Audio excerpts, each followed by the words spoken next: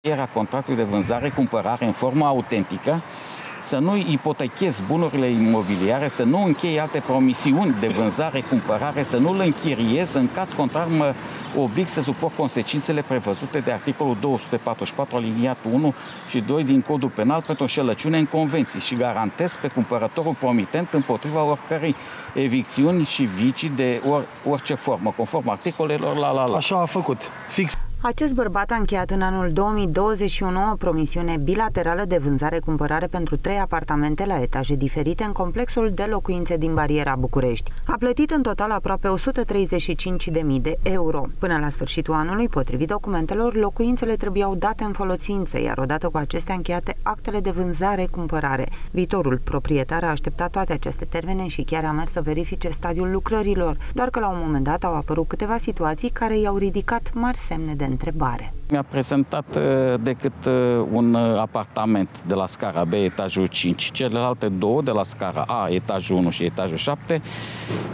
spunând că nu găsește cheile. Am constatat ulterior că atât apartamentul de la etajul 1 cât și apartamentul de la etajul 7 erau dotate cu contoare de curent electric și de gaze și sau efectiv s-au mutat terțe persoane în aceste apartamente. Fără să înțeleagă de ce apartamentele pentru care a încheiat documente de cumpărare cu dezvoltatorul au alți proprietari, cumpărătorul a mers să ceară explicații. La care dezvoltatorul mi-a spus că nu știe nimic despre situația uh, aceasta. Așa se face că bărbatul a angajat o firmă de avocatură pentru a-și rezolva problema în instanță. Dezvoltatorul Lupu Bărioara uh, solicită să uh, eșaloneze suma de, de bani.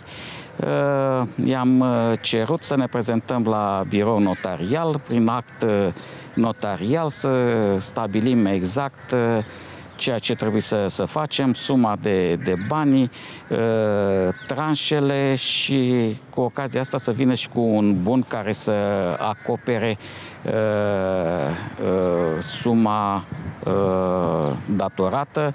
Viitorul cumpărător a încheiat cu dezvoltatorul ulterior și un act adițional al promisiunii de vânzare inițiale la un notar din Ploiești, document care stabilea un alt termen de dare în folosință, după care, dacă nu era respectat, putea primi despăgubiri. Cu suma de 166.000 de euro. Deci eu înțeleg din acest act adițional pe care vi pun la dispoziție, fie primește apartamentele în 1 7 2023, pe lângă apartamente mai primește și o penalitate de 15.000 de euro, nimic scadent la zi, fie primește în schimbul apartamentului o sumă de 166.000 de euro. Și de aici cred că înțeleg din acest act că dezvoltatorul a ales să-l despăgubească la data scadentă. Păi am plătit în 2018 șapte apartamente la etajul 5, da? urmând ca în anul 2020 să intru în posesia lor. Acum, în decembrie, am fost în birou la Mihai Lupu, rugându-l să-mi să facă contractul de vânzare final pentru cele pentru apartamentele respective și am fost dat afară din birou cu jurături. Dar de ce? Sub ce motiv? Un motiv că nu, nu să mi le dea. Nu avem niciun motiv oarecare așa. Deși ați făcut acele promisiuni bilaterale? Am făcut acele promisiuni, am vorbit în toți anii aceștia cu el, mereu, da?